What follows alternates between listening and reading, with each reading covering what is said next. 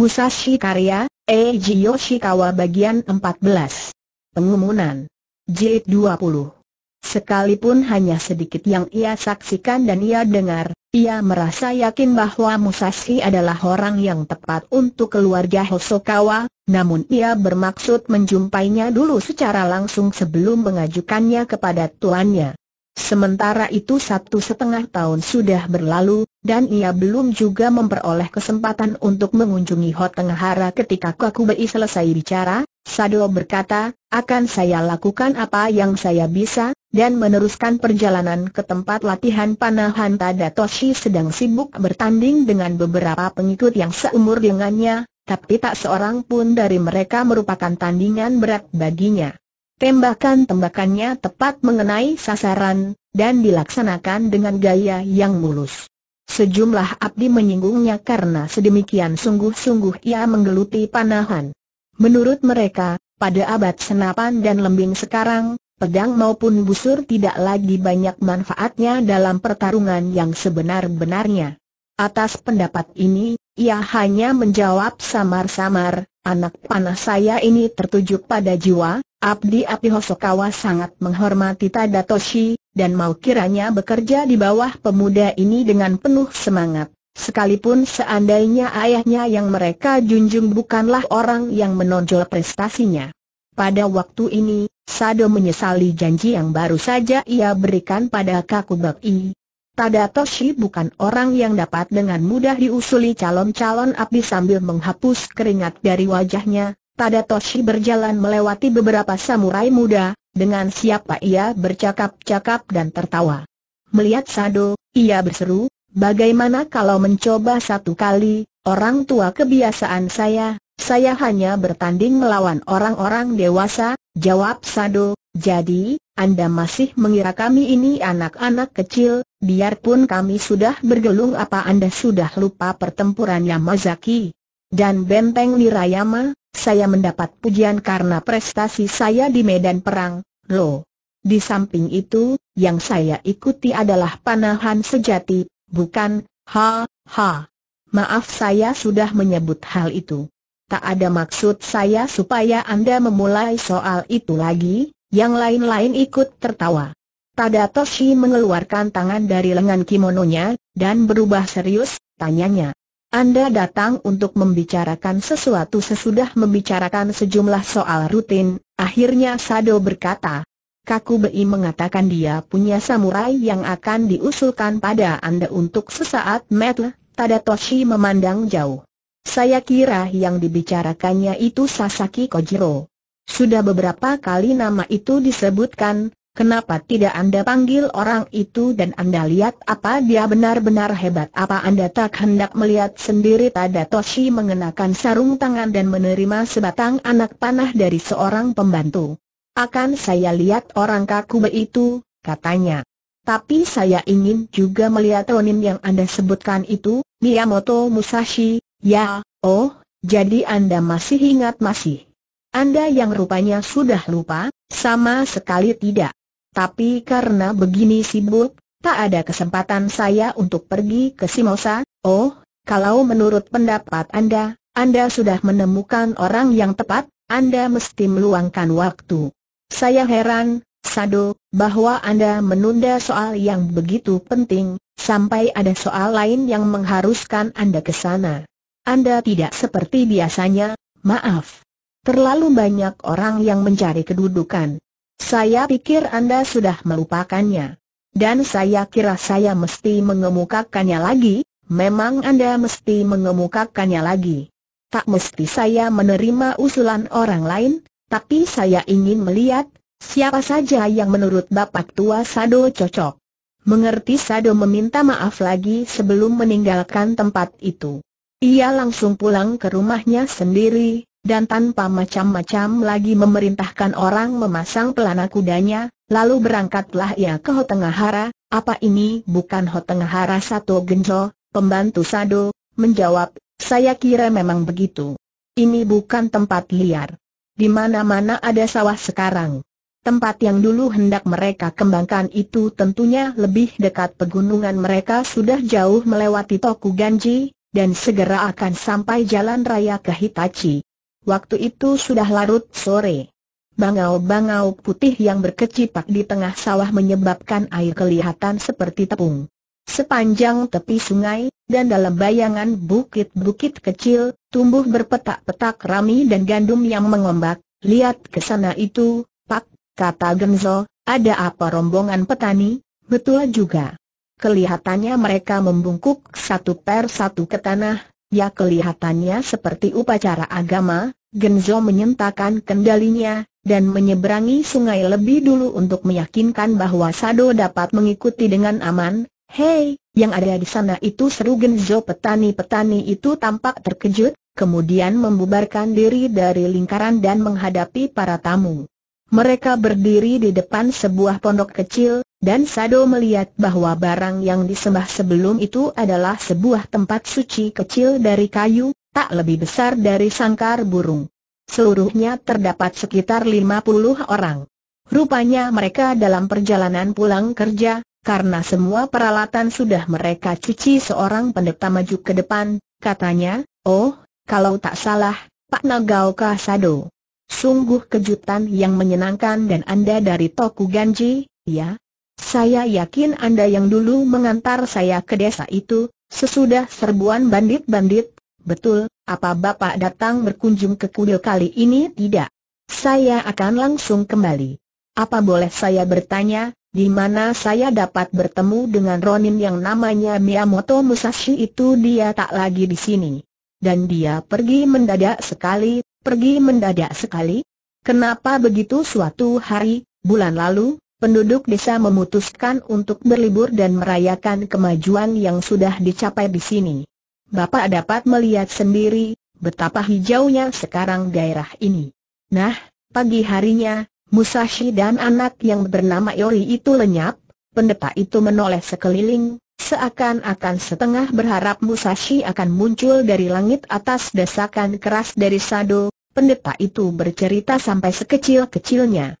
Sesudah desa itu memperkuat pertahanannya di bawah pimpinan Musashi, para petani begitu bersyukur ada harapan akan hidup damai, hingga mereka praktis mendoakannya. Bahkan orang-orang yang pernah paling kejam mengejek-ejeknya, datang membantu proyek pembangunan Musashi memperlakukan mereka semua dengan adil dan sama rata, pertama-tama dengan meyakinkan mereka bahwa tidak ada gunanya hidup seperti binatang. Kemudian ia mencoba meyakinkan mereka, betapa pentingnya mengerahkan usaha lebih banyak lagi, supaya anak-anak mereka berkesempatan hidup lebih baik. Ia katakan pada mereka, untuk menjadi manusia sejati, mereka harus bekerja demi keturunan mereka dengan 40 atau 50 orang desa yang setiap hari menyingsingkan lengan baju, di musim gugur mereka berhasil mengendalikan banjir. Datang musim dingin, mereka membajak. Pada musim semi, mereka menimba air dari parit-parit pengairan yang baru, dan menanam benih padi. Awal musim panas, padi tumbuh pesat, sedang di ladang kering, rami dan gandum sudah setinggi satu kaki. Tahun mendatang, panen akan berlipat dua, dan tahun sesudah itu tiga kali lipat orang-orang desa mulai mampir ke pondok Musashi untuk menyatakan hormat dan berterima kasih secara tulus. Kaum perempuan juga datang membawa sayur-sayuran.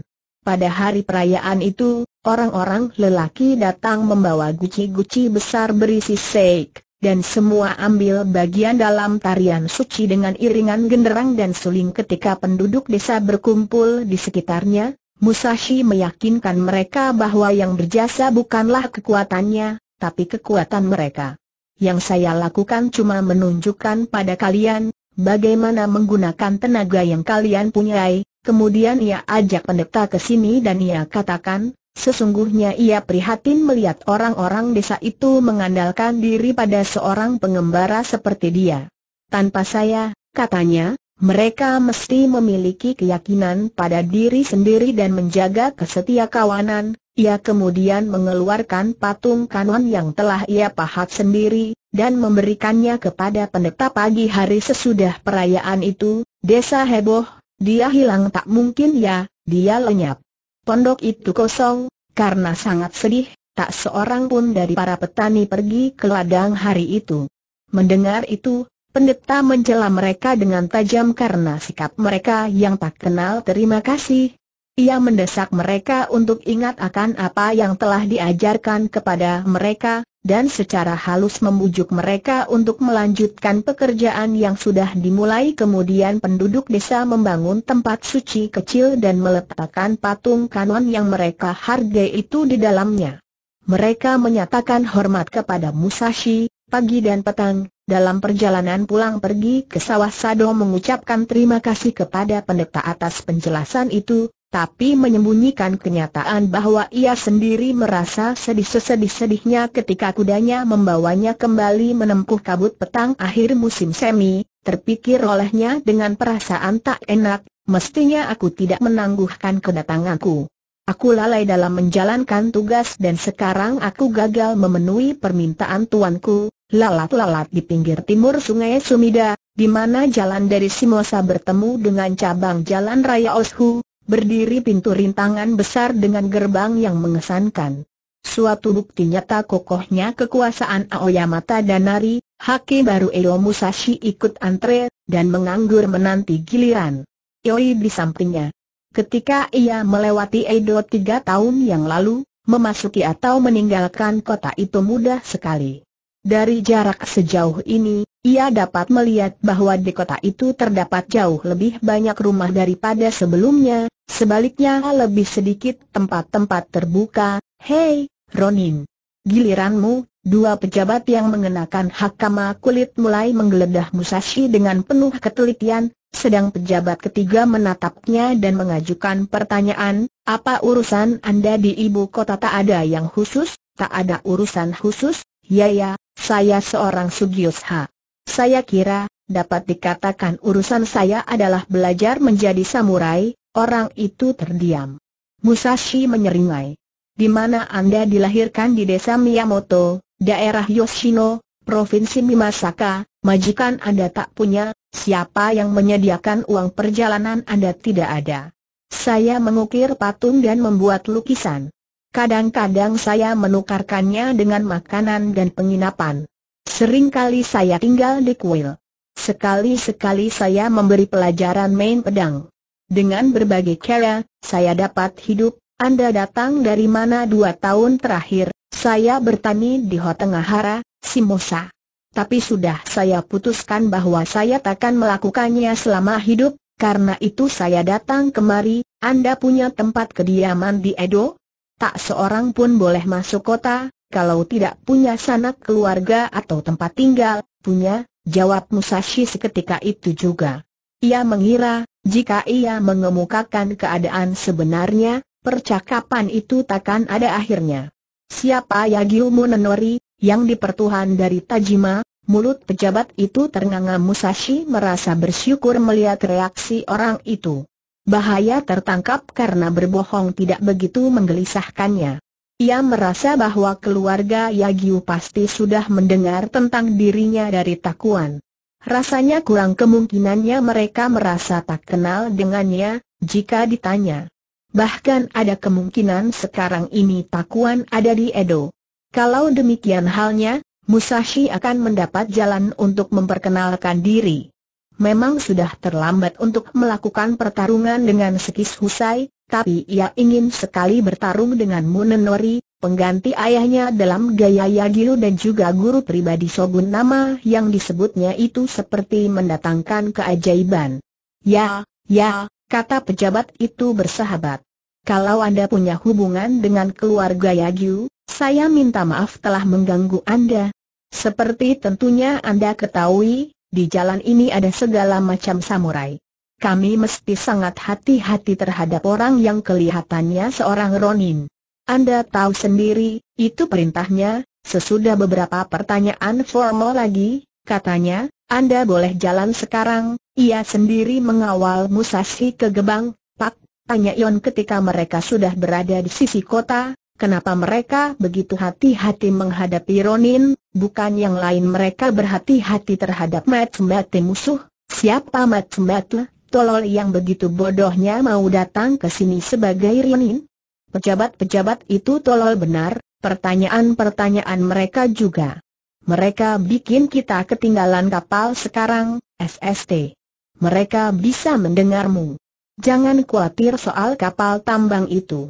Kita bisa mengagumi Gunung Fuji, sementara menanti kapal berikut. Apa kau tahu bahwa kita bisa melihatnya dari sini lalu kenapa? Kita dapat juga melihatnya dari Hotengahara, betul, tapi dari sini lain, lain bagaimana Fuji tak pernah sama. Dia tampak berlainan tiap hari, tiap jam, buat saya sama saja, tidak bisa. Dia berubah-ubah, tergantung waktu, cuaca, musim, tempat dari mana kau melihatnya. Dan dia berlainan juga, tergantung orang yang memandangnya, tergantung hatinya, Iori tidak terkesan oleh ucapan itu. Ia memungut batu pipih dan meluncurkannya di permukaan air. Sesudah beberapa menit lamanya menghibur diri dengan care itu, ia kembali mendapatkan Musashi dan tanyanya apa kita betul-betul akan pergi ke rumah yang di pertuan Yagyu mesti kupikirkan dulu hal itu, tapi Bapak mengatakan begitu pada pengawal, kan ya? Aku bermaksud pergi ke sana, tapi soal itu tidak begitu mudah. Dia seorang daimyo, mestinya dia itu penting sekali, ya? Saya ingin jadi orang penting macam itu, kalau sudah besar, penting ya, mestinya kau memasang cita-cita yang lebih tinggi dari itu, maksud Bapak lihat Gunung Fuji itu, saya takkan seperti Gunung Fuji, daripada kau ingin ini atau itu, lebih baik jadikan dirimu raksasa yang diam tak bergerak-gerak. Seperti gunung. Jangan buang waktu buat mencoba memesona orang. Kalau kau bisa menjadi orang yang pantas dihormati orang banyak, mereka akan menghormatimu, biarpun kau tidak melakukan sesuatu. Kata-kata Musashi itu tak sempat mengendap, karena justru waktu itu Iori berseru, lihat, kapal datang, dan ia berlari mendahului naik kapal sungai Sumida penuh dengan kontras, di sana sini lebar, di tempat-tempat lain sempit, di sini dangkal, dan di sana dalam. Pada waktu banjir, ombak yang membasahi tepi-tepinya berwarna lumpur. Kadang-kadang muaranya membengkak menjadi dua kali lebarnya yang biasa. Lokasi penyeberangan kapal tambang itu sebetulnya merupakan ceruk di dalam teluk langit terang, air jernih. Ketika menoleh ke samping, Ion melihat kelompok-kelompok ikan kecil yang tak terhitung jumlahnya berlomba ke sana kemari. Di antara bebatuan ia melihat juga sisa-sisa sebuah topi baja tua yang sudah berkarat. Sama sekali tidak ia dengarkan percakapan orang di sekitarnya, bagaimana pendapatmu? Apakah akan tetap damai seperti sekarang aku sangsi, barangkali kau benar. Cepat atau lambat akan terjadi pertempuran. Aku tidak mengharapkan, tapi apalagi yang dapat terjadi para penumpang lain menyimpan saja pikiran mereka dan menatap air dengan wajah masam, karena takut seorang pejabat yang mungkin menyamar akan mendengar ucapan mereka, lalu menghubungkannya dengan para pembicara itu. Mereka yang bersedia menanggung risiko itu rupanya mendapat kenikmatan dari bermain api dengan metu dan telinga hukum yang ada di mana-mana, kita dapat mengatakan dari cara mereka memeriksa tiap orang, bahwa kita menghadapi peperangan. Baru-baru ini saja mereka mengadakan pemeriksaan keras macam itu.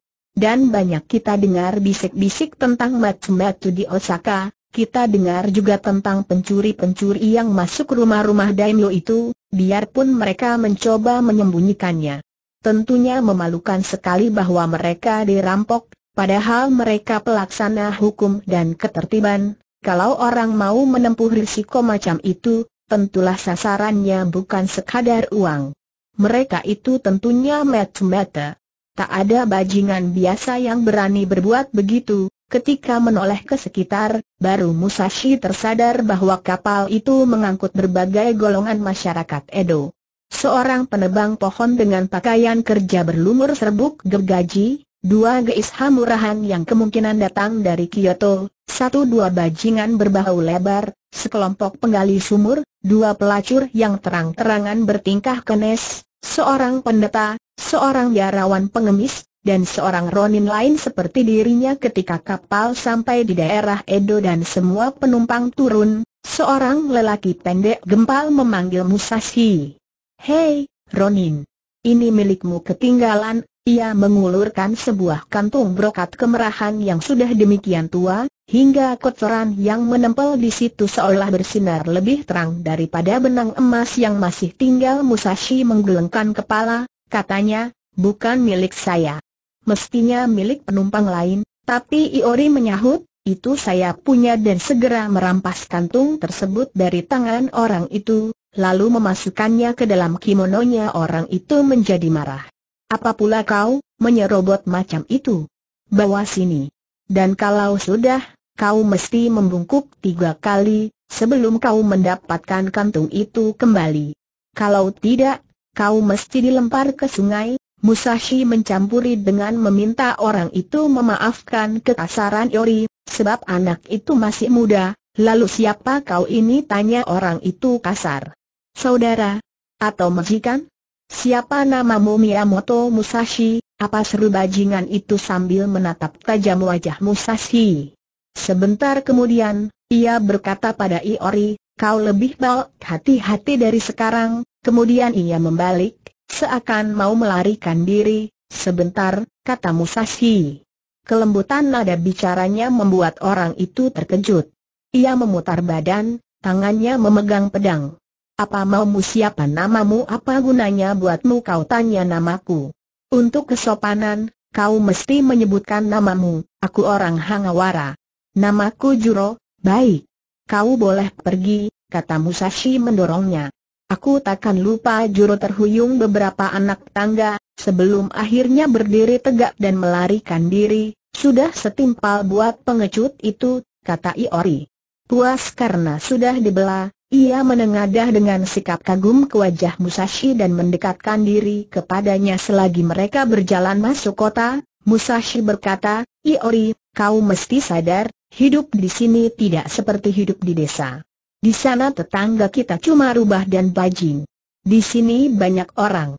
Kau mesti lebih hati-hati dengan kelakuanmu, ya, Pak. Kalau orang banyak hidup bersama dengan serasi, bumi ini bisa serasa surga, sambung Musashi sungguh-sungguh. Tapi tiap orang memiliki segi baik dan buruknya. Ada masanya yang keluar cuma kejelekan itu. Lalu dunia bukan menjadi surga, tapi neraka. Kau mengerti kata-kataku ini ya, saya pikir begitu, kata Yori, yang sekarang lebih tunduk, ada sebabnya kenapa kita mempunyai tata krama dan sopan santun. Keduanya itu menjaga agar kita tidak mengutamakan kejelekan, dan memajukan ketertiban sosial. Inilah tujuan undang-undang pemerintah, Musashi berhenti. Caramu bertindak tadi, itu memang soal kecil, tapi sikapmu itu bagaimanapun membuat orang marah. Aku sama sekali tak senang dengan itu, baik, Pak, aku belum tahu, ke mana kita pergi sekarang. Tapi di mana pun kita berada, lebih baik kau ikuti peraturan dan bertindak sopan. Anak itu mengangguk-anggukan kepala beberapa kali dan membungkuk kaku sedikit. Mereka terus berjalan dalam diam, apa Bapak bisa membawakan kantung uang saya ini? Saya tak mau kehilangan lagi. Musashi menerima kantong brokat kecil itu, memeriksanya baik-baik, kemudian memasukkannya ke dalam kimononya. Apa ini peninggalan ayahmu itu ya, saya menerimanya kembali dari toko ganji awal tahun ini. Pendeta tidak mengurangi uang itu. Bapak bisa memakainya sebagian, kalau perlu, terima kasih, kata Musashi ringan. Akan kujaga uang itu, dia punya bakat yang tidak kupunyai, renung Musashi, ingat dengan sesal hati akan sikap masa bodohnya terhadap keuangan pribadi. Kebijaksanaan anak itu mengajarkan kepadanya makna ekonomi. Ia menghargai kepercayaan anak itu, dan dari hari ke hari ia makin suka pada Iori. Ingin sekali ia melaksanakan tugas membantu anak ini mengembangkan kecerdasan alamiahnya, di mana kau ingin menginap malam ini tanyanya Iori sudah memandang lingkungannya yang baru itu dengan penuh rasa ingin tahu, dan ujarnya, saya lihat banyak kuda di sana. Kelihatannya seperti pasar kota ini, Bicaranya seakan ia baru bertemu dengan teman yang lama hilang di negeri asing mereka telah sampai di Bakuroco. Di sana terdapat berbagai macam warung teh dan penginapan yang melayani orang-orang yang pekerjaannya berkaitan dengan kuda, penjual, pembeli, kusir gerobak, tukang kuda, macam-macam pelayan rendahan. Kelompok-kelompok kecil orang bertawar-menawar dan mengoceh dengan dialek campur aduk, tapi yang paling menonjol adalah bahasa Edo yang kedengaran tajam dan marah di tengah rakyat jelata itu, tampak seorang samurai berpendidikan yang sedang mencari kuda yang baik. Dengan wajah tak puas, katanya, mari pulang. Tak ada yang lain di sini, kecuali kuda tua. Tak ada yang pantas diajukan pada yang dipertuan, dengan langkah besar-besar, orang itu berjalan di antara binatang-binatang itu, dan tiba-tiba saja sudah berhadap-hadapan dengan Musashi, ia mengedip, undur selangkah dengan keheranan, Anda Miyamoto Musashi, kan Musashi memandangnya sebentar, kemudian menyeringai. Orang itu adalah Kimura Sukekuro. Sekalipun kedua orang itu hampir beradu pedang di benteng Koyagyu, sikap Sukekuro ramah tamah. Kelihatan ia tidak menyimpan dendam akibat pertemuan sebelumnya, betul-betul tak saya sangka dapat bertemu Anda di sini, katanya. Apa sudah lama Anda di Edo saya baru datang dari Simosa, jawab Musashi. Bagaimana dengan cuan Anda? Sehat ya, terima kasih, tapi tentu saja, seumur Sikis Husai itu. Saya tinggal dengan yang di pertuan Munenori. Anda mesti datang berkunjung. Dengan senang saya akan memperkenalkan Anda. Dan, ada hal lain lagi, ia melontarkan pandang penuh arti, dan tersenyum. Kami menyimpan harta cantik milik Anda.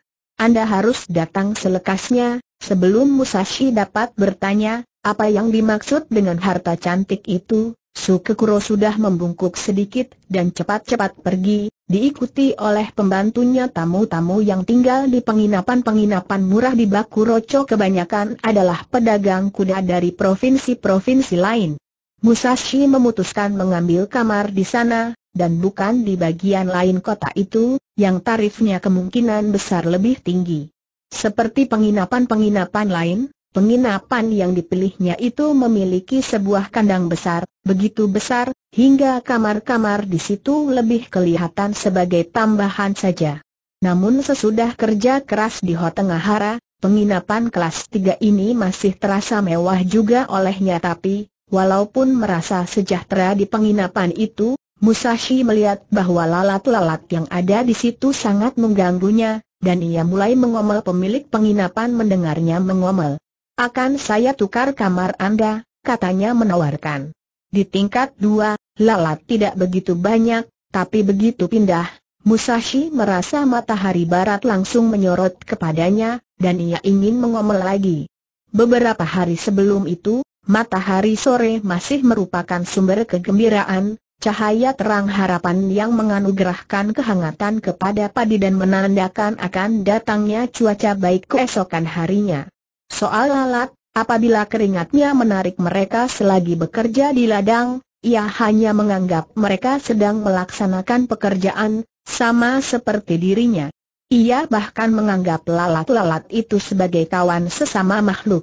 Kini, sesudah menyeberangi sungai lebar dan menerjunkan diri dalam kancah simpang siur kota, ia merasakan panas matahari itu sebagai hal yang tidak menyenangkan, dan lalat-lalat sebagai hal yang menjengkelkan nafsu makan menyebabkannya lupa akan hal-hal yang tak mengenakan.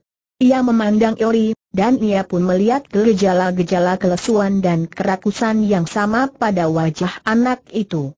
Tak begitu mengherankan, karena rombongan di kamar sebelah telah memesan satu kuali besar makanan yang masih mengepul, dan sekarang mereka sedang melahapnya dengan rakus sekali, diiringi percakapan, tawa, dan minuman misoba, itulah yang ia inginkan. Di desa, kalau orang menginginkan soba, ia mesti menanamnya dahulu di awal musim semi, mengamat-amatinya sewaktu berkembang pada musim panas, mengeringkan bijinya pada musim gugur, dan menumbuk tepungnya pada musim dingin. Baru ia dapat membuat soba mie. Tapi di sini, orang tinggal menepukan tangan, dan makanan terhidang, Iori, bagaimana kalau kita memesan soba baik? Terdengar jawaban penuh minat pemilik penginapan datang dan mengambil pesanan mereka. Sambil menunggu, Musashi menopangkan sikunya ke ambang jendela dan meneduhi matanya. Di sudut seberang jalan ada papan bertulisan, di sini jiwa digosok. Zushino Kosuke, ahli gaya Honami Yori melihatnya juga. Sesaat ia memperhatikan dengan bingung. Katanya, papan itu mengatakan jiwa digosok. Usaha apa itu nah? Di situ disebutkan juga orang itu bekerja dengan gaya Honami, jadi kukira dia tukang gosok pedang. Rasanya perlu juga aku minta pedangku digosok, soba itu lambat datangnya, karenanya Musashi membaringkan badan di tatami untuk tidur. Tetapi suara-suara di kamar sebelah meningkat dan berubah menjadi pertengkaran. Iori, katanya sambil membuka sebelah matanya, coba suruh orang-orang sebelah itu sedikit tenang, hanya Soji yang memisahkan kedua kamar itu, tapi Iori bukannya membuka Soji, melainkan pergi ke lorong. Pintu menuju kamar lain itu terbuka. Jangan ribut-ribut teriaknya. Guru saya mau tidur, ha percekcokan tiba-tiba berhenti. Orang-orang itu menoleh dan menatapnya dengan marah, kau omong apa, anak cebol sambil cemberut karena mendapat sebutan itu, Iori berkata, kami pindah ke atas karena di bawah banyak lalat. Sekarang kalian teriak-teriak, sampai dia tak bisa istirahat kau ini jalan sendiri apa disuruh tuanmu disuruh, begitu, ya. Tapi buat apa aku membuang-buang waktu bicara dengan bajangan kecil macam kau? Bilang sama tuanmu sana, Kumagoro dari Cicibu akan kasih jawaban nanti. Pergi sana Kumagoro adalah orang yang kasar luar biasa, sedangkan dua tiga orang lainnya lebih kecil darinya. Karena takut ancaman yang tercermin pada mata mereka, Iori cepat mundur. Sementara itu, Musashi sudah jatuh tertidur. Karena tak hendak mengganggunya, Iori duduk di dekat jendela tak lama kemudian, salah seorang pedagang kuda itu membuka celah dalam soji dan mengintip Musashi. Terdengar tawa riuh, diiringi kata-kata keras mengejek, dia pikir siapa dia itu, berani-berani mencampuri rombongan kita. Ronin goblok. Tak ketahuan pula dari mana datangnya. Datang saja nyelonong, dan lagaknya macam pemilik tempat ini, terpaksa kita kasih pelajaran sama dia, ya, mesti kita kasih pelajaran, biar dia tahu, siapa pedagang kuda dari Edo ini, omongan saja tak berakal bikin jelas. Mari kita seret dia keluar dan kita tuang seember kencing kuda ke mukanya, Kumagoro angkat bicara. Tunggu. Biar aku yang tangani. Aku mesti dapat permintaan maaf tertulis dari dia, atau kita basuh mukanya dengan kencing kuda. Nikmati sana sekmu. Serahkan semua padaku, oh, bagus, kata satu orang ketika Kumagoro mengencangkan obi sambil menyeringai yakin, saya minta maaf, kata Kumagoro sambil membuka soji. Tanpa berdiri lebih dulu, ia masuk kamar Musashi, sambil berlutut soba yang terdiri atas enam porsi dalam kotak pernis akhirnya datang. Musashi sudah duduk, dan sedang menggunakan sumpit untuk porsi pertama, lihat, mereka masuk, Iori berbisik, sambil bergerak sedikit menyingkir Kumagoro duduk di kiri belakang Iori, bersila, sikunya diletakkan di atas lutut. Sambil mencerca seru, katanya, kau bisa makan nanti. Jangan sembunyikan takutmu dengan duduk memainkan makanan, Musashi menyeringai, tapi tidak memperlihatkan tanda-tanda sedang mendengarkan. Ia gerakan soba dengan sumpitnya untuk memisah-misahkan untayan mie, kemudian ia angkat segumpal, dan ia lahap dengan bunyi sedotan meriah nadi di dahi Komagoro hampir menggelembung. Turunkan mangkuk itu katanya marah, dan siapa kau ini tanya Musashi ringan, tapi tak bergerak untuk menuruti permintaan orang itu. Kau tak tahu siapa aku? Orang di Bakuroco yang tak pernah dengar namaku cuma sampah dan orang-orang buta tuli, aku memang sedikit tuli. Bicaralah dan sebutkan siapa kau, dan dari mana, aku Kemagoro dari Cicibu, pedagang kuda terbaik di Edo. Kalau anak-anak melihatku datang, mereka begitu takut, Sampai tak bisa nangis, oh, begitu. Jadi, kau berdagang kuda tentu. Aku menjual kuda kepada para samurai. Lebih baik kau ingat itu, kalau kau punya urusan denganku, kalau begitu, aku punya urusan apa denganmu kau menyuruh anak ini mengeluh soal suara kami. Kau pikir di mana kau itu? Ini bukan penginapan kesukaan Daimyo, yang enak, tenang, dan semuanya itu. Kami, pedagang kuda, suka suara aku mengerti, kalau begitu, kenapa kau coba bertengkar dengan rombongan kami? Aku menuntut permintaan maaf, permintaan maaf ya, tertulis. Kau bisa mengalamatkannya pada Komagoro dan teman-teman. Kalau tidak ku dapat permintaan maaf itu, akan kami keluarkan kau dan kami beri kau satu dua pelajaran, yang kau katakan itu menarik juga, huh maksudku, caramu bicara itu menarik juga, hentikan omong kosong itu kami akan dapat permintaan maaf atau tidak? Hal suara Kumagoro sudah berubah dari geraman menjadi raungan, dan keringat di dahinya yang merah tua berkilat-kilat dalam matahari petang. Tampak ia sudah siap untuk meledak. Ia buka dadanya yang berbulu, dan ia keluarkan belati dari kantung depannya. Nah, putuskan. Kalau aku tidak segera mendengar jawabanmu, kau akan mendapat kesulitan besar, ia lepaskan silangan kakinya dan ia pegang belati itu tegak lurus di samping kotak pernis, dengan ujung menyentuh lantai terpaksa Musashi menahan rasa gembiranya, dan katanya, lalu bagaimana aku mesti menjawabnya? Ia turunkan mangkuk, lalu ia ulurkan sumpit, mengambil bintik hitam dari soba yang ada di dalam kotak, dan membuangnya keluar jendela sambil terus diam, ia ulurkan lagi sumpitnya dan ia ambil bintik hitam lain lagi, kemudian yang lain lagi Komagoro terbelalak.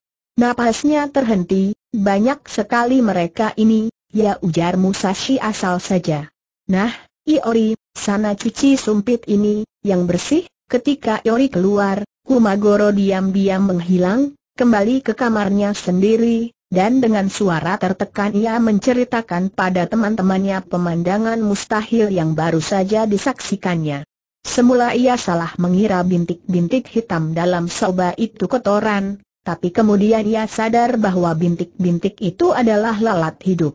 Lalat itu demikian cekatan ditangkap, hingga tak sempat lagi meloloskan diri. Dalam beberapa menit saja, ia dan teman-temannya pun memindahkan pesta kecil mereka ke kamar yang lebih terpisah, dan ketenangan pun bertakhta. Nah, lebih enak sekarang, kan kata Musashi kepada Iori. Keduanya saling menyeringai begitu mereka selesai makan, matahari sudah terbenam dan bulan bersinar pudar di atas atap toko penggosok jiwa. Titik Musashi berdiri dan meluruskan kimononya. Kupikir ada baiknya ku bawa pedangku ke sana, Katanya ia ambil senjata itu, tapi ketika ia hendak berangkat, pemilik penginapan sudah setengah jalan mendaki tangga yang menghitam itu, serunya, surat buat tuan, heran karena orang begitu cepat mengetahui tempat ia berada, Musashi turun, menerima surat itu, tanyanya, apa pembawanya masih di sini? Tidak? Dia langsung pergi, di sampul surat hanya tertulis kata Suke, yang menurut dugaan Musashi singkatan untuk Kimura Sukekuro. Ketika dibukanya, bunyinya, saya sudah menyampaikan kepada yang di pertuanmu Nenori bahwa saya bertemu Anda pagi tadi. Rupanya beliau senang mendengar kabar tentang Anda, sesudah begitu lama tak ada kabar. Beliau memerintahkan saya menulis surat dan bertanya, kapan Anda dapat mengunjungi kami Musashi terus menuruni anak tangga selebihnya, dan pergi ke kantor untuk meminjam tinta dan kuas. Ia duduk di sudut, dan ia tulis di belakang surat Sukekuro, dengan senang hati saya akan mengunjungi yang di pertuan Munenori, kapan saja beliau bersedia bertarung dengan saya. Sebagai prajurit, tak ada maksud lain pada saya untuk mengunjunginya. Ia tanda tangani surat itu dengan Masana, nama resmi yang jarang dipergunakannya, Iori, panggilnya dari bawah tangga. Kau mau aku suruh baik, Pak, sampaikan surat ini pada yang di pertuan Nenori, baik, Pak. Pemilik penginapan mengatakan tiap orang tahu di mana yang di pertuanmu Nenori tinggal, tapi ia memberikan petunjuk juga. Ikuti saja jalan utama itu, sampai kau bertemu jalan raya. Lalu ikuti jalan itu sampai Nihombashi. Lalu belok ke kiri, dan ikuti sungai sampai kau mencapai Kobichicho. Itulah tempatnya, tak salah lagi, terima kasih, kata Yoi yang sudah mengenakan sandal. Saya yakin dapat menemukannya, ia senang mendapat kesempatan pergi, terutama karena tujuannya adalah rumah seorang daimyo.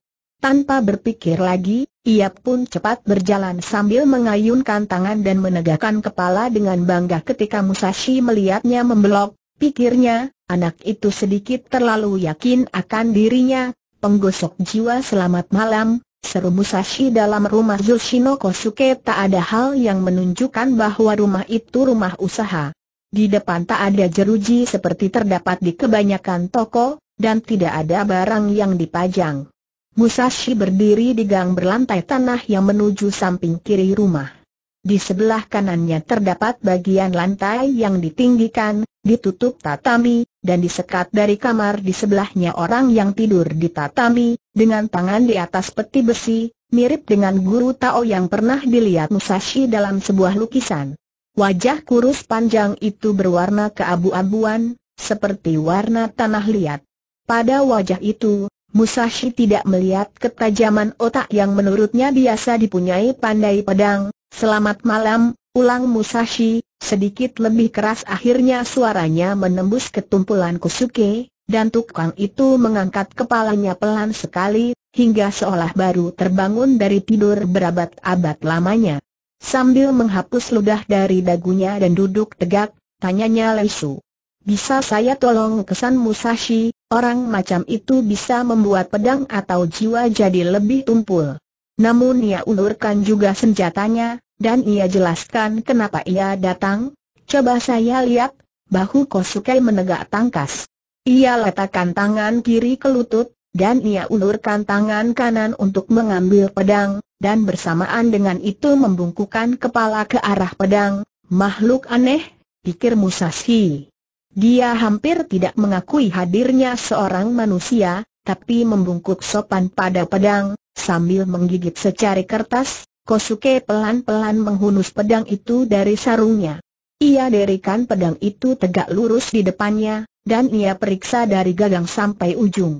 Matanya berkilau-kilau terang, mengingatkan Musashi pada mata kaca dalam patung Buddha dari kayu Kosuke memasukkan kembali senjata itu ke dalam sarungnya dan memandang Musashi dengan nada bertanya.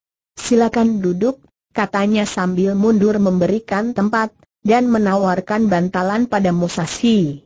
Musashi melepaskan sandal dan melangkah masuk kamar, apa pedang ini sudah beberapa angkatan menjadi milik keluarga Anda oh?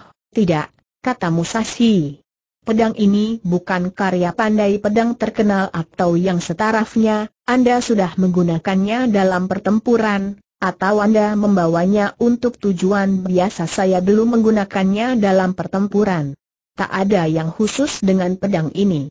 Paling-paling yang dapat kita katakan tentangnya, lebih baik daripada tak ada sama sekali, hektometer sambil memandang langsung mati Musashi, Kosuke bertanya, Lalu mau digosok bagaimana pedang ini mau digosok bagaimana?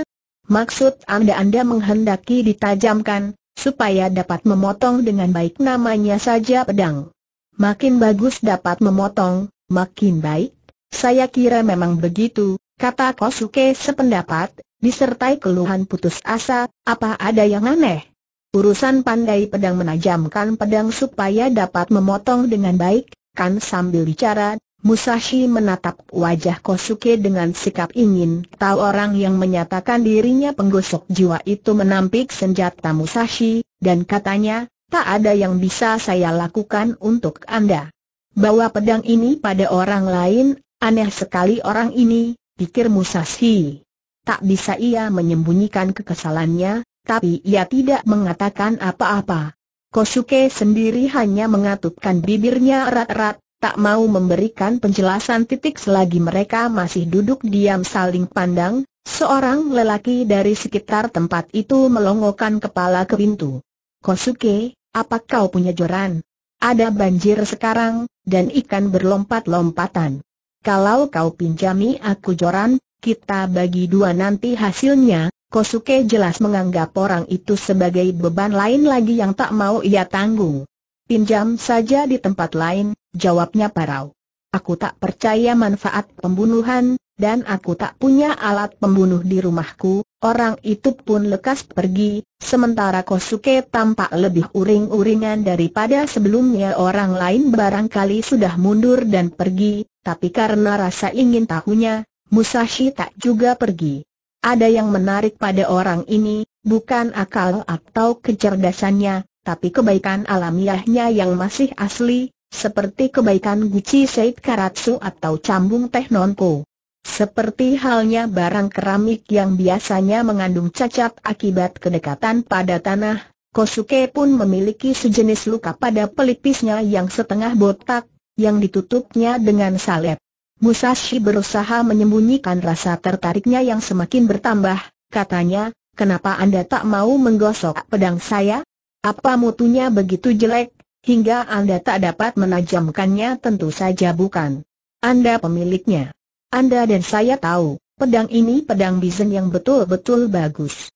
Saya juga tahu, Anda ingin menajamkannya untuk tujuan memotong orang, tapi apa salahnya itulah yang dikatakan mereka semua, apa salahnya minta saya menajamkan pedang, supaya dapat memotong dengan lebih baik?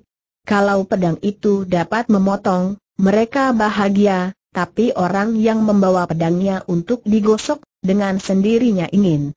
Tunggu dulu, Kosuke mengangkat tangan. Butuh waktu untuk menjelaskan ini. Pertama, saya ingin Anda melihat sekali lagi tanda di depan toko saya, tertulis di situ jiwa digosok, atau paling tidak, Begitulah saya kira. Apa ada cara lain untuk membaca huruf-huruf itu? Tidak. Anda lihat di situ, tak ada kata yang menyatakan menggosok pedang. Urusan saya menggosok jiwa-jiwa samurai yang datang ke sini, bukan pedangnya.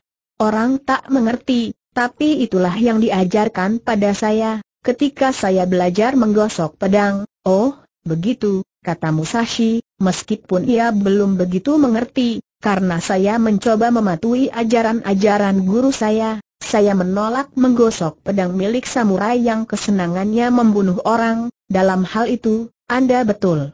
Tapi apa boleh saya mengetahui, siapa guru Anda itu namanya tertulis di papan itu juga.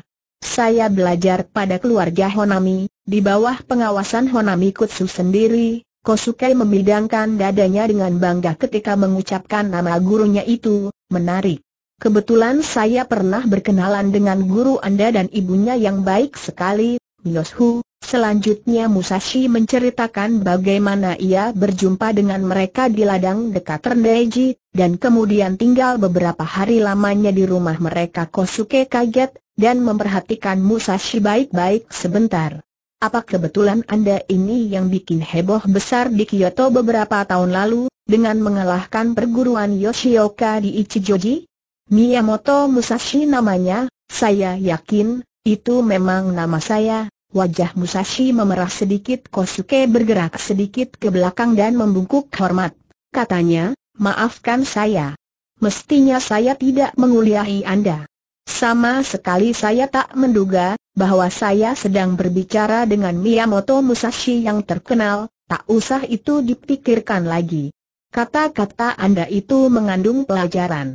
Watak Kutsu tampak dalam pelajaran-pelajaran yang diajarkannya pada murid-muridnya, saya yakin Anda tahu keluarga Honami mengabdi kepada para Shogun Ashikaga. Dari waktu ke waktu, mereka juga dipanggil untuk menggosok pedang-pedang kaisar. Kutsu selalu mengatakan bahwa pedang Jepang diciptakan bukan untuk membunuh atau melukai orang, tapi untuk mempertahankan kekuasaan kaisar dan melindungi bangsa, untuk menundukkan setan-setan dan mengusir kejahatan. Pedang adalah jiwa samurai. Samurai membawa pedang bukan untuk tujuan lain selain mempertahankan martabatnya sendiri. Pedang adalah peringatan yang selalu hadir bagi penguasa untuk berusaha mengikuti jalan hidup. Sudah sewajarnya kalau tukang yang menggosok pedang harus juga menggosok semangat pemain pedang, Benar sekali, kata Musashi mengiyakan, Kutse mengatakan bahwa melihat pedang yang baik, berarti melihat sinar suci, melihat semangat perdamaian dan ketenangan bangsa India benci menyentuh pedang yang jelek. Berdekatan saja bisa membuatnya muak, begitu. Maksud Anda, apakah terasa sesuatu yang jahat dalam pedang saya? Tidak, sama sekali tidak. Saya cuma sedikit kesal. Semenjak datang di Edo, saya sudah menggarap sejumlah senjata, tapi tak ada seorang pun di antara pemiliknya yang punya bayangan tentang makna sejati pedang. Saya kadang-kadang merasa jiwa mereka itu perlu digosok. Yang mereka pikirkan cuma bagaimana menyobek-nyobek orang atau membelah kepalanya, topi baja, dan segalanya itu. Mengesalkan sekali. Itu sebabnya saya memasang papan baru beberapa hari yang lalu. Tapi rupanya tak banyak juga hasilnya, dan saya pun datang untuk meminta hal yang sama, ya. Saya mengerti perasaan Anda, yah, itu sudah suatu permulaan. Persoalan dengan Anda mungkin akan sedikit berbeda. Tapi terus terang, ketika melihat pedang Anda, saya sungguh terguncang. Semua torhan dan noda itu diakibatkan oleh daging manusia. Tadinya saya pikir Anda cuma ronin tak berarti juga, yang bangga karena telah melakukan sejumlah pembunuhan tak berujung pangkal, Musashi menundukkan kepala. Kata-kata itu suara kutsu, yang keluar dari mulut Kosuke. Saya ucapkan terima kasih atas pelajaran ini, katanya. Saya sudah membawa pedang sejak masih kanak-kanak, tapi belum pernah saya benar-benar memikirkan semangat yang bersemayam di dalamnya. Di masa depan, saya akan memperhatikan apa yang Anda katakan ini, Kosuke tampak puas sekali. Kalau demikian, akan saya gosokkan pedang Anda. Atau barangkali mesti saya katakan sebagai orang di bidang ini, saya merasa mendapat hak istimewa dapat menggosok jiwa seorang samurai seperti Anda, senja menghilang, dan lampu-lampu telah dinyalakan. Musashi memutuskan sudah waktunya pergi, tunggu, kata Kosuke. Apa Anda punya pedang lain, sementara saya menggarap yang ini tidak? Saya cuma punya satu pedang panjang itu, kalau demikian, bagaimana kalau Anda mengambil gantinya? Saya takut tak ada yang baik sekali di antara pedang yang saya miliki, tapi silakan melihat, ia mengantar Musashi masuk kamar belakang, dan di situ ia keluarkan beberapa bilah pedang dari dalam lemari, dan ia jajarkan di atas tatami. Anda boleh ambil mana saja di antara semua pedang ini, katanya menawarkan walaupun dengan rendah hati pandai pedang itu telah mengingkari, tapi sesungguhnya semua senjata itu memiliki mutu sangat bagus. Musashi mengalami kesulitan dalam memilih kumpulan pedang yang memesona itu, tapi akhirnya lah pilih satu, dan ia pun segera jatuh cinta kepadanya. Dengan menggenggamnya saja, ia sudah dapat merasakan pengabdian pembuatnya. Ketika ia mencabut pedang itu dari sarungnya, terasa bahwa kesannya itu benar. Pedang itu sungguh hasil karya pertukangan yang indah, yang barangkali berasal dari zaman Yoshino di abad 14.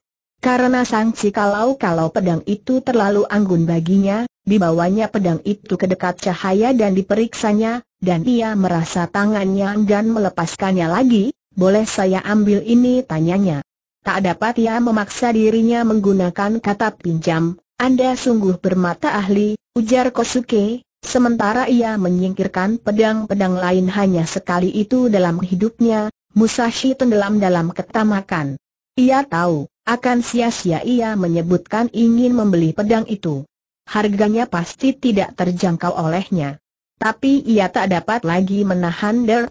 Saya kira Anda takkan mau mempertimbangkan menjual pedang ini pada saya, kan tanyanya, kenapa tidak berapa yang Anda minta Anda boleh ambil dengan harga pembeliannya, berapa harga belinya 20 keping emas, suatu jumlah yang hampir tak terbayangkan oleh Musashi. Lebih baik saya kembalikan pedang ini, katanya ragu-ragu, kenapa tanya Kosuke dengan pandangan heran. Saya pinjamkan ini pada Anda, terserah Anda sampai kapan. Ambillah, tidak, itu akan bikin saya merasa lebih tidak keruan lagi. Sekarang saja saya sudah begitu menginginkannya.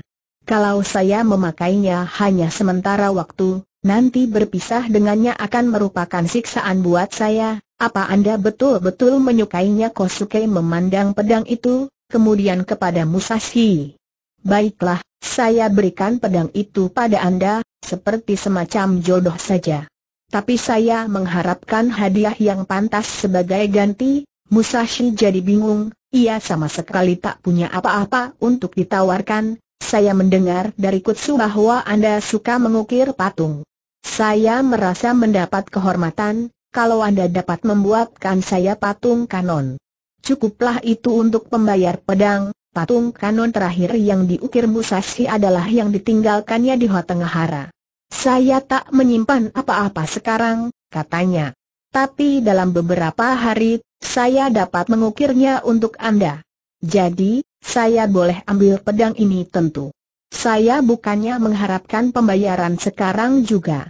Dan omong-omong, daripada menginap di penginapan itu, apa tidak lebih baik kalau Anda tinggal dengan kami? Di sini ada satu kamar yang tidak kami gunakan. Oh, itu baik sekali, kata Musashi. Kalau saya pindah besok, saya dapat langsung mulai membuat patung itu. Silakan melihat kamar itu sekarang, desak Kosuke yang juga senang dan bersemangat Musashi mengikutinya menyusuri gang luar. Di ujung gang itu terdapat tangga yang terdiri atas setengah lusin anak tangga. Terselip di antara lantai pertama dan kedua, tapi tidak termasuk yang pertama atau kedua, terdapat sebuah kamar berukuran delapan tikar. Lewat jendela, Musashi dapat melihat daun-daun pohon aprikot yang syarat oleh embun Kosuke menunjuk atap yang tertutup kulit-kulit tiram, katanya, di sana itu bengkel saya, seakan diundang oleh isyarat rahasia, istri pandai pedang datang membawa sek dan makanan kecil. Sesudah kedua orang itu duduk, perbedaan antara tuan rumah dan tamu seakan-akan menguap. Mereka bersantai dengan kaki diselonjorkan, dan saling membuka hati, lupa akan kendali yang biasanya dipaksakan oleh sopan santun. Pembicaraan dengan sendirinya tertuju pada pokok soal yang menjadi kegemaran mereka, setiap orang bermulut manis tentang pedang, kata Kosuke. Siapa saja bicara bahwa pedang adalah jiwa samurai. Mereka mengatakan bahwa pedang adalah satu dari tiga kekayaan suci negeri ini. Tetapi care orang-orang itu memperlakukan pedang sungguh memalukan. Yang saya maksud adalah para samurai dan pendeta, begitu juga orang kota. Berturut-turut saya sudah mengunjungi tempat-tempat suci dan rumah-rumah tua, di mana pernah disimpan koleksi pedang-pedang indah. Bisa saya sampaikan pada Anda, bahwa situasinya sungguh mengejutkan, pipi Kosuke yang pucat itu kini kemerahan. Matanya menyala karena gairah, dan air ludah yang berkumpul di sudut-sudut mulutnya kadang-kadang menyemprot langsung ke wajah teman bicaranya, hampir tak ada pedang terkenal dari masa lalu yang dipelihara dengan baik. Di tempat suci Sua, Provinsi Shinano, ada lebih dari 300 pedang. Pedang-pedang itu dapat digolongkan pusaka, tapi hanya lima pedang yang saya temukan tidak berkarat. Tempat suci Omis Hima terkenal karena koleksi 3000 pedang yang berasal dari beberapa ratus tahun silam. Tapi, sesudah tinggal di sana sebulan, saya temukan hanya 10 yang dalam keadaan baik. Sungguh memuakan Kosuke menarik napas, melanjutkan, soalnya, makin tua dan terkenal pedang itu, makin cenderung pemiliknya berusaha menyimpannya di tempat aman. Tapi akibatnya tak seorang pun dapat menjangkaunya untuk mengurusinya, dan pedang pun makin lama makin berkarat. Para pemilik pedang itu seperti orang tua yang melindungi anak-anaknya dengan penuh perasaan cemburu, hingga anak-anak itu tumbuh menjadi orang-orang tolol. Kalau anak, akan terus ada yang dilahirkan, jadi tak apa-apa kalau ada sedikit yang bodoh. Tapi pedang, ia berhenti untuk menelan ludah, kemudian mengangkat bahunya yang tipis lebih tinggi lagi, dan ujarnya dengan mata berkilau-kilau, kita sudah memiliki pedang-pedang terbaik yang pernah ada. Selama berlangsungnya perang saudara, pandai-pandai pedang sudah bertindak sembrono, bahkan ceroboh. Mereka lupa akan teknik, dan sejak itu pedang-pedang mengalami kemerosotan, satu-satunya yang mesti kita lakukan adalah menjaga dengan lebih baik pedang-pedang masa lalu. Tukang-tukang sekarang boleh saja mencoba meniru pedang lama, tapi mereka takkan dapat menghasilkan pedang yang sama baiknya.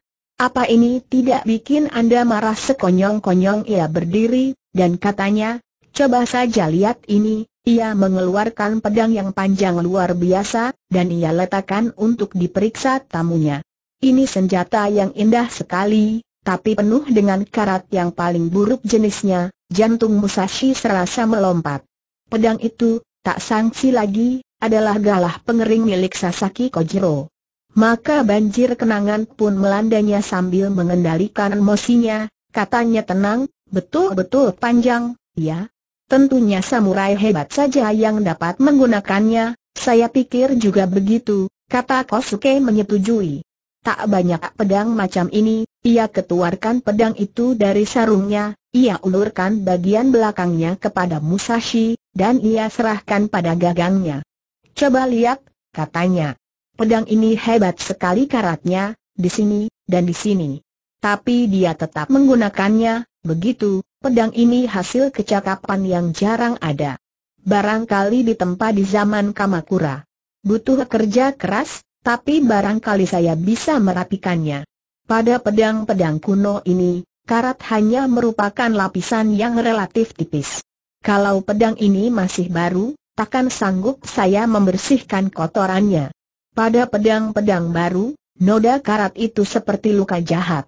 Dia langsung memakan hati logam, Musashi membalikan kedudukan pedang itu, hingga bagian belakangnya mengarah pada Kosuke, dan berkata, boleh saya bertanya, apa pemilik pedang ini membawanya sendiri kemari tidak? Saya kebetulan ada urusan di rumah yang di pertuan Hosokawa, dan salah seorang abdinya yang sudah tua, Iwama Kakubai, minta saya singgah di rumahnya dalam perjalanan pulang. Saya singgah, dan dia memberikan pedang ini untuk digarap. Katanya pedang ini milik tamunya, kelengkapannya baik juga, ujar Musashi, sementara matanya masih tertuju pada senjata itu, ini pedang tempur. Orang itu sampai sekarang biasa menaruhnya di punggung, tapi dia ingin menaruh di pinggang, karena itu saya diminta mencocokkan sarungnya. Orang itu tentunya besar sekali badannya. Kalau tidak, barangkali tangannya terlatih sekali, Kosuke sudah mulai terpengaruh Sheikh lidahnya mulai terasa sedikit tebal. Musashi memutuskan sudah tiba waktunya untuk pergi, dan ia pun pergi, tanpa banyak upacara lagi hari ternyata lebih larut dari yang ia duga. Di sekitar tempat itu tak ada lampu. Begitu sampai di penginapan, ia meraba-raba dalam gelap, mencari tangga, dan naik ke tingkat dua. Dua kasur sudah dihamparkan, tapi keduanya kosong. Tidak hadirnya Iori membuatnya merasa tak enak, karena ia menduga anak itu tersesat di jalan-jalan kota besar yang tak dikenalnya ini ia kembali turun dan membangunkan penjaga malam. Dia belum pulang tanya orang itu, yang rupanya lebih heran daripada Musashi. Saya pikir dia bersama bapak tadi, karena tahu ia cuma akan menatap langit-langit sebelum Iori kembali, Musashi keluar menuju malam yang hitam kelam, dan berdiri melipat tangan di bawah tepian atap rubah apa ini Kobikicho walaupun berkali-kali dibenarkan, Iori masih juga sangsi. Lampu-lampu yang tampak di keluasan tanah itu adalah lampu gubuk-gubuk darurat milik pekerja kayu dan tukang batu, dan gubuk itu hanya sedikit jumlahnya dan terpencar-pencar. Di kejauhan sana, yang terlihat olehnya hanyalah ombak putih yang membusa di dalam teluk di dekat sungai terdapat timbunan batu dan tumpukan kayu. Sekalipun Iori tahu bahwa gedung-gedung dibangun dengan cepat sekali di seluruh Edo, ia merasa tidak mungkin bahwa yang di pertuan Yagiru akan membangun tempat kediaman di daerah seperti ini, ke mana lagi sekarang pikirnya patah hati, seraya duduk di atas kayu. Kedua kakinya sudah lelah dan panas. Untuk mendinginkannya, ia menggosok-gosokkan jari kakinya ke rumput yang berembun. Tak lama kemudian, ketegangan yang dialaminya surut dan keringatnya mengering, tapi semangatnya tetap patah. Semua ini kesalahan perempuan itu, gerutunya pada diri sendiri. Dia salah memberi petunjuk jalan, ia pun terkenang akan saat ia tadi ternganga melihat-lihat daerah teater di Sakeco hari sudah larut, dan di sekitar situ tidak ada orang yang dapat ia tanyai arah. Namun ia merasa tak enak juga kalau mesti menginap di lingkungan yang tidak dikenalnya ini. Ia mesti melaksanakan suruhan dan kembali ke penginapan sebelum matahari terbit, sekalipun akan terpaksa membangunkan salah seorang pekerja ketika menghampiri gubuk terdekat yang berlampu, ia melihat seorang perempuan berkerudung anyaman seperti syal. Selamat malam, Bi, Katanya polos perempuan itu mengira Iori pembantu warung sek yang tak jauh dari tempat itu, ia menatap Iori dan dengusnya, oh, kau ya. kau yang melempari aku dengan batu tadi, lalu lari, kan, anak nakal bukan saya, protes Iori. Belum pernah saya melihat bibi perempuan itu menghampirinya ragu-ragu, kemudian pecahlah tawanya. Oh, bukan, katanya, bukan kau. Tapi apa pula kerja anak sekecil dan semanis kau malam-malam begini berkeliaran di sini saya disuruh menyampaikan surat, tapi saya tak dapat menemukan rumah yang saya cari, rumah siapa itu yang di pertuan Yagiyu dari Tajima, kau berkelakar, ya perempuan itu tertawa. Yang di pertuan Yagiyu itu seorang daimyo dan guru shogun. Kau pikir dia akan mau buka pintu buat kamu ia tertawa lagi. Atau barangkali kau punya kenalan di bagian pelayan saya bawa surat, untuk siapa? Untuk samurai yang namanya Kimura Sukekuro, itu tentunya salah seorang abdinya. Tapi kau ini lucu sekali, enak saja menyebut nama yang di pertuan Yagyu, seolah kau kenal dia, saya cuma mau menyampaikan surat ini.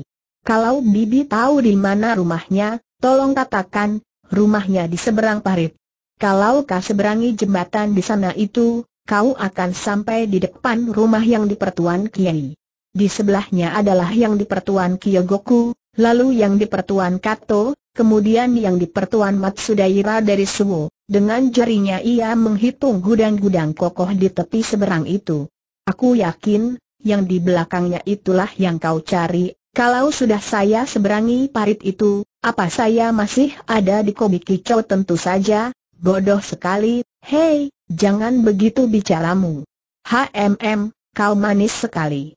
Biar kuantar kau, dan kutunjukkan tempat yang di pertuan Yagyu, perempuan itu pun berjalan di depan Iori, berkerudung anyaman. Bagi Iori, ia tampak agak menyerupai hantu sampai di tengah jembatan, seorang lelaki yang berpapasan dengan mereka menyenggol lengan kimono perempuan itu dan bersuit. Orang itu berbau shake. Sebelum Iori tahu apa yang terjadi, perempuan itu sudah membalik dan menghampiri orang mabuk itu. Aku kenal kau, kicau perempuan itu. Jangan lewat begitu saja. Itu tidak baik, ia tangkap lengan baju orang itu, lalu beranjak ke suatu tempat, yang menuju ke bawah jembatan. Lepaskan aku, kata lelaki itu, kau tak mau pergi denganku tak ada awang, ah, Aku tak peduli, sambil menempelkan diri seperti lintah pada lelaki itu, perempuan itu menoleh pada Iori yang keheranan, katanya, lari sana sekarang. Aku ada urusan dengan orang ini, Iori hanya memandang kebingungan, ketika kedua orang itu saling tarik. Beberapa waktu kemudian, perempuan itu tampaknya dapat mengunggulinya, dan mereka menghilang ke bawah jembatan. Masih terheran-heran, Ion pergi ke susuran jembatan dan melayangkan pandang ke tepi sungai yang berumput sambil menengadah. Perempuan itu berteriak, Hei, dungu dan memungut sebuah batu dengan napas terengah-engah. Iori menghindari lemparan batu itu dan pergi ke ujung jembatan. Selama bertahun-tahun tinggal di dataran Tandusa Tenggara itu, belum pernah ia melihat hal yang begitu menakutkan seperti wajah putih perempuan yang marah di tengah gelap itu di seberang sungai, ia ternyata berhadapan dengan sebuah gudang. Di sampingnya ada pagar, kemudian gudang lain, kemudian pagar lagi, dan begitu seterusnya, menyusur jalan. Tentunya ini, katanya, ketika ia sampai di bangunan kelima. Pada tembok yang putih berkilau terdapat lambang berbentuk topi perempuan bertingkat dua. Itulah lambang keluarga Yagil seperti ia kenal dari kata-kata sebuah lagu populer, siapa di situ terdengar suara dari dalam gerbang ia menjawab sekeras-kerasnya, saya murid Miyamoto Musashi. Saya bawa surat, penjaga itu mengucapkan beberapa patah kata yang tak dimengerti Yon. Pada pintu gerbang terdapat pintu kecil, dan lewat pintu itu orang dapat masuk atau keluar tanpa membuka pintu gerbang besar. Beberapa detik kemudian, pintu itu terbuka pelan-pelan, dan orang itu bertanya curiga, apa kerjamu di sini? Malam-malam begini Yori menyodorkan surat itu ke wajah si pengawal. Tolong saya menyampaikan ini. Kalau ada jawabannya, akan saya bawa sekalian, HMM, renung orang itu sambil mengambil surat tersebut. Untuk Kimura Sukekuro, ya ya, Pak, tapi dia tak ada di sini, Di mana dia dia ada di rumah di Higakubo, hah? Tapi semua orang bilang, dia ada di rumah kediaman yang di Pertuan Yagiru di Kobikicho, memang orang selalu bilang begitu, tapi di sini cuma ada gudang-gudang betas, kayu, dan beberapa barang lain, yang di Pertuan Yagiru tidak tinggal di sini tidak. Berapa jam ke tempat yang lain itu, Higakubo cukup jauh juga, tapi di mana itu di perbukitan luar kota, di desa Azabu, tak pernah saya dengar nama itu, Iori mengeluh kecewa, tapi rasa tanggung jawab mencegahnya untuk menyerah. Bisa Bapak membuatkan petanya jangan bodoh. Biarpun kau tahu jalannya, sepanjang malam baru kau bisa sampai di sana, tidak apa, di Azabu banyak rubah. Kau tak ingin ditenung rubah, kan tidak? Apa kau kenal baik dengan Sukekuro guru saya yang kenal, begini saja. Karena sekarang sudah larut, bagaimana kalau kau tidur dulu di lumbung sana itu, dan baru besok pagi berangkat lo, di mana aku seru Yori sambil menggosok matanya. Ia melompat berdiri dan berlari keluar. Matahari siang membuatnya pening. Sambil mengedipkan mata ke sinar menyilaukan itu, ia pergi ke pos gebang, di mana penjaga sedang makan siang, jadi, akhirnya bangun juga kau, ya, Pak. Bisa Bapak membuatkan peta itu sekarang buru-buru, ya, tukang tidur? Lebih baik kau makan dulu. Makanan ini cukup buat kita berdua, sementara anak itu mengunyah dan menelan, si penjaga membuat peta kasar dan menjelaskan Care pergi ke Higakubo. Mereka selesai bersamaan. Karena merasa tugasnya penting sekali, Iori segera berlari tanpa pikir lagi, bahwa ada kemungkinan Musashi menguatirkan ketidakpulangannya ke penginapan cukup cepat juga ia melewati jalan-jalan ramai itu, sampai tiba di daerah Benteng Edo. Rumah-rumah indah para daimyo terkemuka berdiri di tanah yang terletak di tengah silang siurnya parit. Sementara memandang sekeliling, ia melambatkan jalannya kanal-kanal penuh dengan kapal barang. Kubu batu pada benteng itu sendiri setengah tertutup perancah dari baloh, yang dari jauh mirip dengan terali bambu yang biasa dipergunakan untuk rambatan tumbuhan jalar morning glory kemuliaan pagi titik beberapa waktu lamanya ia habiskan di dataran luas bernama Hibia, di mana detak-detik pahat dan ketak-ketuk kapak membubungkan lagu pujaan tak selaras mengenai kekuasaan Songgun baru. Yoi berhenti, terpesona oleh pemandangan di hadapannya, para pekerja yang menyeret batu-batu besar, tukang-tukang kayu dengan serut dan gergajinya, dan samurai itu, samurai gagah yang berdiri dengan bangga, mengawasi semua itu. Oh, ingin sekali ia lekas besar dan menjadi seperti mereka suatu lagu yang penuh semangat berkumandang dari tenggorokan orang-orang yang menyeret batu itu. Kita akan memetik bunga di Wong Musashi bunga gentian, loncengan, bunga-bunga liar yang bertebaran berkacau balau tapi gadis manis itu, bunga yang tak terpetik itu, yang basah oleh embun ia hanya akan melembabkan lenganmu, seperti air mata yang tercurah ia berdiri terpesona. Tanpa disadarinya, air parit sudah mulai berwarna kemerahan, dan suara-suara burung gagak petang mulai terdengar oleh telinganya, ah, matahari sudah hampir tenggelam, katanya mengecam diri sendiri. Ia berlari, dan beberapa waktu lamanya ia berlari terus sekencang-kencangnya, tanpa memperhatikan apa pun kecuali peta yang dibuat oleh pengawal itu. Baru kemudian disadarinya bahwa ia sudah mendaki jalan yang menuju Bukit Azabu yang demikian rimbun ditumbuhi pepohonan, hingga kelihatan seolah hari sudah tengah malam. Namun, ketika ia sampai di puncak bukit itu, dilihatnya matahari masih ada di atas sana, sekalipun letaknya sudah rendah di kaki langit di atas bukit itu sendiri hampir tidak terdapat rumah, sedangkan desa Azabu hanyalah merupakan tebaran perladangan dan rumah-rumah pertanian di dalam lembah di bawah. Yoi berdiri di tengah lautan rumput dan pohon-pohon tua, mendengarkan sungai-sungai kecil yang bergemericik menuruni sisi bukit. Letihnya terasa hilang, berganti dengan kesegaran yang aneh. Samar-samar ia menyadari bahwa tempat ia berdiri adalah tempat bersejarah, sekalipun ia tidak tahu mengapa demikian. Sesungguhnya itulah tempat kelahiran sederetan prajurit besar dari keluarga Taira dan Minamoto di masa lalu ia mendengar dentam-dentam keras genderang sedang ditabuh, jenis genderang yang sering kali dipergunakan dalam perayaan-perayaan Sinto. Di bawah bukit, di tengah hutan, tampak kayu palang yang kokoh pada hubungan tempat suci. Yori tidak tahu bahwa itulah kuil agung Ligura yang pernah dipelajarinya, yaitu bangunan terkenal yang suci bagi Dewi Matahari dari isi kuil itu berbeda sekali dengan benteng maha besar yang baru saja ia lihat, bahkan berbeda dari gerbang-gerbang megah milik para daimyo. Dalam kesederhanaannya, kuil itu hampir tak dapat dibedakan dengan rumah-rumah pertanian di sekitarnya, dan Iori merasa heran juga, kenapa orang berbicara dengan lebih takzim tentang keluarga Tokugawa daripada tentang dewa-dewa yang paling suci. Apakah dengan begitu keluarga Tokugawa itu lebih agung daripada dewa matahari? Ia bertanya-tanya. Aku akan bertanya pada Musashi soal itu nanti, kalau aku pulang, ia keluarkan peta itu, ia pelajari baik-baik, kemudianlah perhatikan keadaan sekitar, dan akhirnya ia amati lagi peta itu.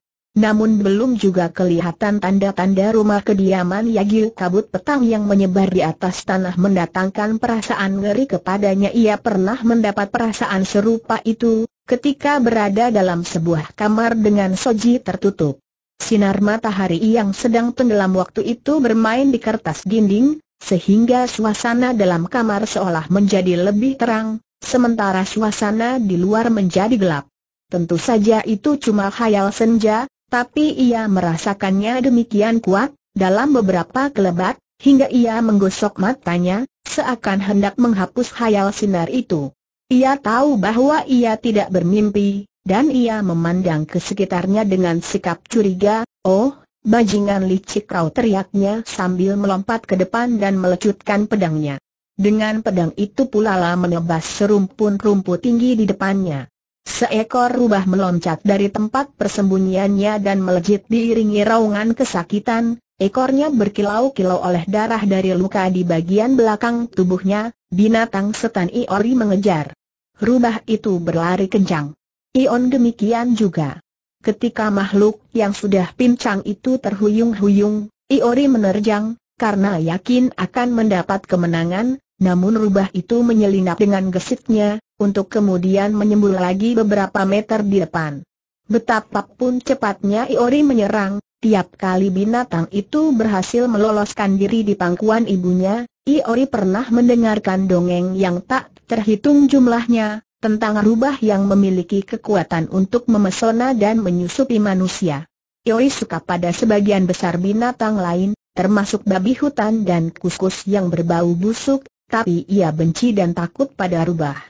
Pada pikirnya, menemukan makhluk licik ini sedang bersembunyi di rumput, cuma berarti satu hal, binatang itulah yang harus dipersalahkan, bahwa ia sampai tersesat. Ia yakin binatang itu makhluk pengkhianat dan jahat, yang sudah mengikutinya semenjak malam kemarin, dan yang baru saja melontarkan sihir jahat kepadanya. Kalau ia tidak membunuh binatang itu sekarang, pasti ia akan diguna-gunai lagi. Yoi hendak mengejar binatang buruannya itu sampai ke ujung dunia, tapi ternyata rubah itu berhasil meloncati tepi jurang dan hilang dari pemandangan, masuk ke dalam semak embun bercahaya berkilauan di atas bunga-bunga jelatang dan tumbuhan labah-labah. Karena kehabisan tenaga dan kering tenggorokan, Iori menjatuhkan diri ke tanah dan menjilati air pada dedaunan. Dengan bahu naik turun, akhirnya ia dapat mengambil napas dalam-dalam, dan keringat pun bercucuran dari dahinya. Jantungnya berdetak keras. Ke mana rubah itu tadi tanyanya antara jeritan dan cekikan kalau memang sudah pergi, memang lebih baik, tapi Iori tidak yakin mana yang hendak dipercayainya. Karena ia sudah melukai binatang itu, pastilah binatang itu akan membalas dendam, entah dengan cara bagaimana. Dengan sikap pasrah ia duduk diam dan menanti justru ketika ia mulai merasa lebih tenang, suatu suara mengerikan menyusupi telinganya. Dengan mata membelalak ia memandang ke sekitarnya. Pasti rubah itu, katanya sambil menguatkan diri jangan sampai tersehir. Sambil cepat berdiri, ia membasahi alisnya dengan ludah, suatu gerak tipu yang menurut keyakinan dapat menangkal pengaruh rubah tidak jauh dari tempat itu, datang seorang perempuan seperti mengapung melintasi kabut petang, wajahnya setengah tertutup kerudung sutra tipis. Ia duduk miring di atas pelana kuda, kendali kuda tergantung bebas menyelang tunas pelana yang rendah. Pelana itu terbuat dari kayu berpernis dan berhiaskan indung mutiara, dia sudah berubah menjadi perempuan, pikir Iori. Bayangan yang mengenakan kerudung, memainkan suling, dan muncul dengan latar belakang sinar tipis matahari petang ini tak mungkin makhluk dari dunia ini sementara berjongkok di rerumputan, seperti kodok, Iori mendengar suara dari dunia lain yang memanggil Otsu, dan ia yakin suara itu datang dari salah satu teman rubah itu si pengendara kuda sudah hampir mencapai belokan di mana ada sebuah jalan menyimpang ke selatan. Bagian atas tubuhnya bersinar kemerah-merahan.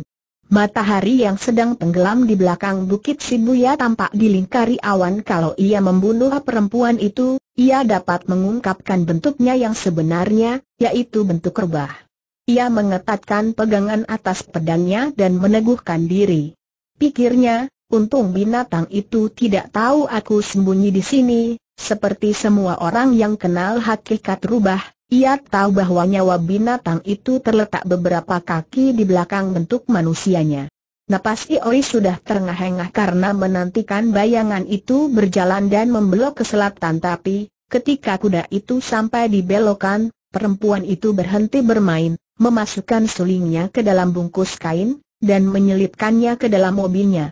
Ia singkapkan kerudungnya, lalu meninjau sekitarnya dengan mata menyelidik, Otsu terdengar suara itu memanggil lagi senyuman menyenangkan tersungging pada wajah perempuan itu ketika ia membalas, aku di sini, Hyogo. Di atas sini, Iori melihat seorang samurai mendaki jalan dari dalam lembah. Oh, oh gagapnya, ketika melihat bahwa orang itu pincang sedikit jalannya. Inilah rubah yang telah dilukainya itu, tidak sangsi lagi. Ia menyamar bukan sebagai seorang penggoda yang cantik, tapi sebagai samurai tampan. Hantu itu membuat Ori ngeri. Tubuhnya gemetar hebat dan basah kuyup sesudah perempuan dan samurai itu bercakap-cakap sebentar, si samurai memegang kekang kuda itu dan menuntunnya lewat tempat Ori bersembunyi, sekarang saatnya demikian Ori memutuskan, namun tubuhnya tak mau bergerak si samurai melihat gerak sedikit itu dan memandang ke sekitar. Pandangannya tepat ke wajah Iori yang ketakutan. Sinar yang keluar dan mata samurai itu seolah lebih berkilau daripada tepi matahari yang sedang tenggelam. Iori meniarapkan diri dan membenamkan wajahnya ke rumput. Belum pernah selama hidupnya yang 14 tahun, ia mengalami rasa takut seperti itu Hyogo tak melihat ada yang menguatirkan pada anak itu, dan berjalan terus. Lereng di tempat itu terjal, dan ia harus berdiri agak condong ke belakang untuk dapat terus mengendalikan kuda itu. Ia menoleh pada Otsu, dan tanyanya lembut, kenapa begitu terlambat pulang? Sudah dari tadi engkau berangkat, dan hanya untuk ke kuil, lalu kembali. Pamanku jadi khawatir dan menyuruhku mencarimu, Otsu meloncat turun, tanpa mengatakan sesuatu Hyogo berhenti. Kenapa turun? Apa ada yang salah tidak? Tapi kurang tepat kalau seorang perempuan naik kuda, sedangkan seorang lelaki berjalan. Mari kita jalan sama-sama. Kita bisa sama-sama pegang kendali, ia menempatkan diri di sisi lain kuda itu mereka turun ke dalam lembah yang gelap, dan melewati sebuah papan bertulisan Akademi Pendeta Sendanan Sekta Soda Langit penuh dengan bintang, dan suara sungai Shibuya terdengar di kejauhan. Sungai itu membagi lembah menjadi Higakubo Utara dan Higakubo Selatan. Karena perguruan yang didirikan oleh biarawan Rintatsu itu terletak di lereng utara, para pendeta di situ biasa disebut kawan-kawan dari utara. Kawan-kawan dari selatan adalah orang-orang yang mempelajari permainan pedang di bawah pimpinan Yagyu Munenori, yang bangunan kediamannya terletak tepat di seberang lembah sebagai anak emas di tengah anak-anak dan cucu-cucu Yagyu Sekis Husai. Yagyu Hyogo memiliki status istimewa di antara kawan-kawan dari selatan. Ia sendiri sudah terkenal.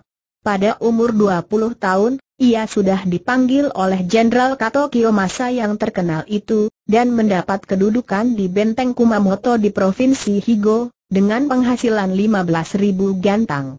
Hat itu belum pernah terjadi pada orang semuda itu.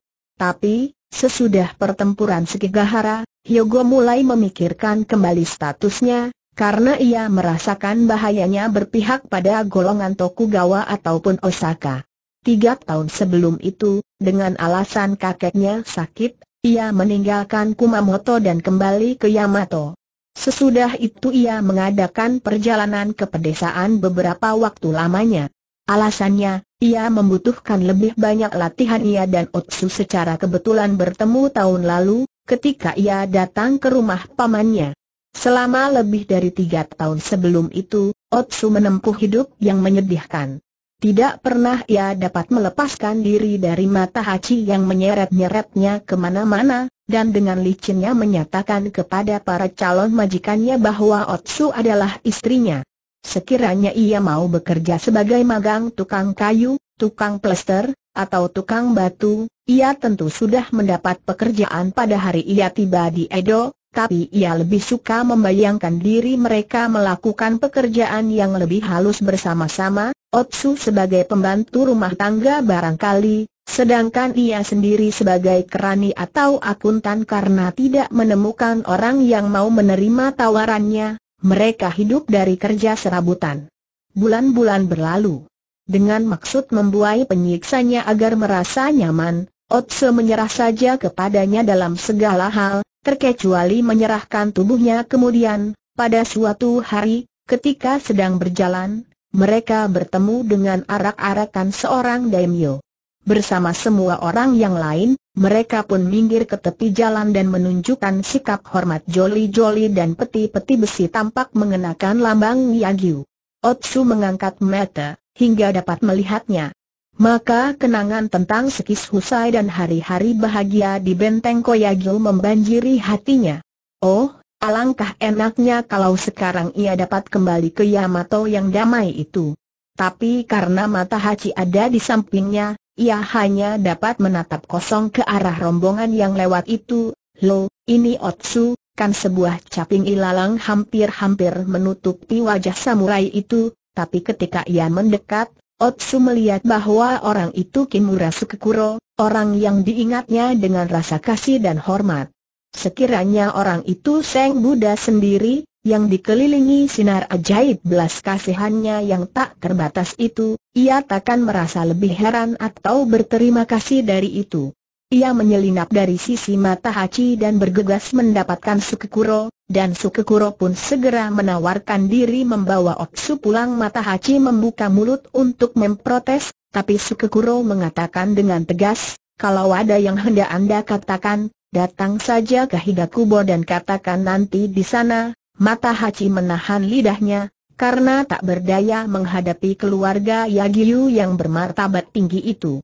Ia menggigit bibir bawahnya dengan penuh kecewa, bercampur kemarahan, melihat hartanya yang berharga itu lepas dari tangannya surat mendesak pada umur 38 tahun, Yagyu Munenoi dianggap pemain pedang terbaik di antara mereka semua.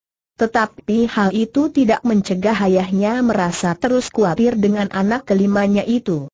Dia harus dapat mengendalikan kebiasaan kecil itu, Demikian ia sering berkata pada dirinya sendiri. Atau, dapatkah orang sekeras kepala itu memegang jabatan tinggi sampai sekarang? Sudah 14 tahun berlalu sejak Tokugawa Ieyasu memberikan perintah pada Sekis Husai untuk menyediakan guru pribadi bagi Hidetada. Sekis Husai melewati saja anak-anak lainnya, cucu-cucu, dan kemenakan-kemenakannya. Munenori memang tidak terlalu cemerlang dan tidak pula terlalu jantan, tapi ia memiliki pertimbangan yang baik dan mantap, orang yang praktis dan kemungkinan tidak bakal terlalu terbenam dalam lamunan. Ia memang tidak setaraf ayahnya yang menjulang atau sejenius Hyogo, tapi ia dapat diandalkan, dan yang paling penting, ia memahami asas utama gaya Yagyu, yaitu bahwa nilai sejati seni perang terletak dalam penerapannya di dalam pemerintahan Sekis Husai tidak salah tafsir mengenai harapan-harapan Ieyasu. Jenderal penakluk itu tidak suka bahwa seorang pemain pedang hanya mengajarkan keterampilan teknis kepada ahli warisnya. Beberapa tahun sebelum pertempuran Sekigahara, Ieyasu sendiri telah belajar di bawah pimpinan seorang pemain pedang ahli bernama Okuyama, dengan tujuan seperti sering dikatakannya sendiri untuk memperoleh mata yang dapat mengawasi negeri, namun hidup Hidetada sekarang seorang shogun, dan tidak tepatlah kalau instruktur Shogun kalah dalam pertarungan yang sebenarnya seorang samurai dengan kedudukan seperti Munenori itu diharapkan dapat mengalahkan semua penantang, dan dapat memperlihatkan bahwa permainan pedang Yagyu tidak ada taranya.